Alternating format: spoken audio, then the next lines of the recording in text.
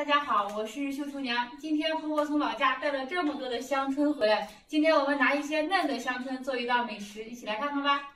香椿别炒鸡蛋了，这样做太香了。先将香椿清洗干净，锅内加水烧开，放入洗净的香椿，焯一下水，这样可以去除香椿所含的亚硝酸盐。香椿变绿后，再焯水三十秒，将香椿捞出，放入盆中。清洗两遍，然后挤干水分，将香椿放在案板上，切成小粒儿，再剁一下，剁成香椿末。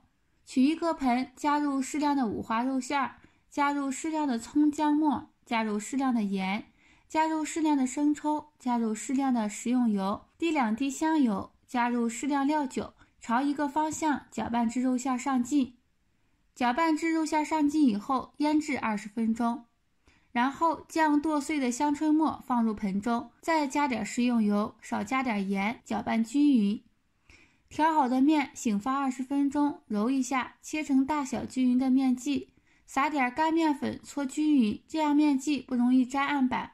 用双手将面剂按压一下，取一个面剂，用擀面杖擀成中间厚、边缘薄的饺子皮。取一个饺子皮托在手中，放入适量的菜馅儿。将两边揪起捏紧，双手虎口处按压一下，一个饺子就包好了。锅内加水烧开，下入饺子，用漏勺推动一下，防止饺子粘锅底。加两次凉水煮三个开，煮至饺子皮鼓起，饺子就煮熟了。